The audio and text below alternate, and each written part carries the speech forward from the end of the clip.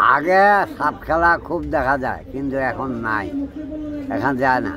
মাথা সার গন্ডগোল করিস না। একটু বাইর হয়ে যা। মাথা সার রাগ করিস না। আর একটু উঠে। আত্মবালি সিরিল গাছি লম্বা মাথায় গেস কলঙ্কিনি করিস না। একটু বাইর হয়ে।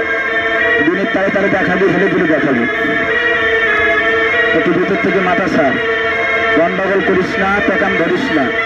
হেলে দিলে আর একটু উঠে আর একটু উঠে। আর একটু উঠে। একটু বাড়া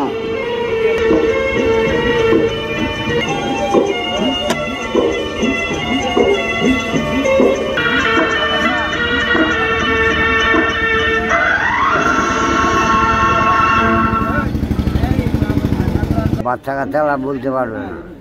যে সাপ কীরকম জিনিসটা বলতে পারবে না। এখনও সাপ খেলা দেখিনি। আজকে দেখলাম বাজারে। খুব ভালো আমি প্রথম সাপ খেলা দেখলাম আমি আমার জীবনের প্রথম সাপ খেলা দেখলাম। আমার কাছে দেখে যান আজকে বাড়ির বাসায় গেলে গল্প করতে পারবেন নাইটার সন্তান পরীক্ষার সামনে আসছিল হ্যাঁ তো মাথার উঠা রাগ করিস না।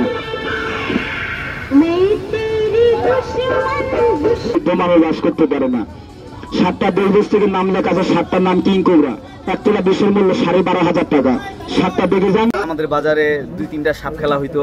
তারপরে বেদে গিলে আসতো, বেদে গিলা ইয়া দেখাইতো ম্যাজিক দেখাইতো। এখন এগুলো সব বিলুপ্তির পথে। তোমরা একটু বসো, বাবাজিরা বসো। বসো, বাবাজি বসো। কেন বাচ্চা পেলা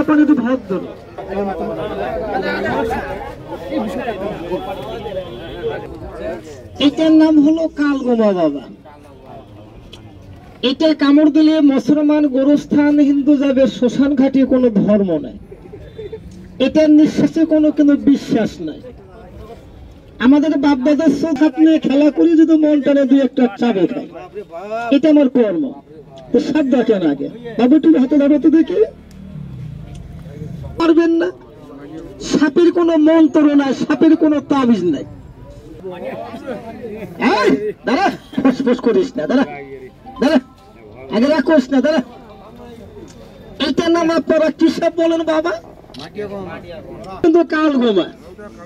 এবার একটা দেখাবো সাপের মাথা দুইটে। জন্ম সাপটা লাপালে সাপটা রক্ত চুষিয়ে খায়।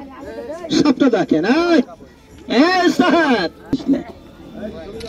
ছোট ভাই, একটু বাসিটা বার করে, আমি দুই মাথাটা আমি একটু বের করে ছেড়ে কোন সাপটা রক্ত খায়? কামড় দিলে গায়ের হাড্ডি পর্যন্ত ফেটে যায় সবগুলো দেখেন।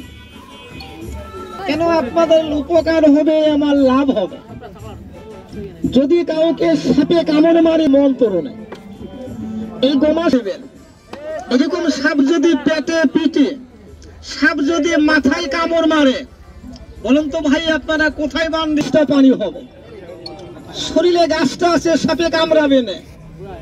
গাছটুকু বাড়িতে পুঁতে দেবেন, বাড়িতে কাল সাপ উঠবে না। সাপে কি ভাইয়া গাবি গরু দুধ খায় না?